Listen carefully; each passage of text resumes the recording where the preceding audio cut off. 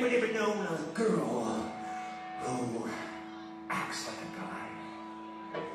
I have. This is called real tough dude.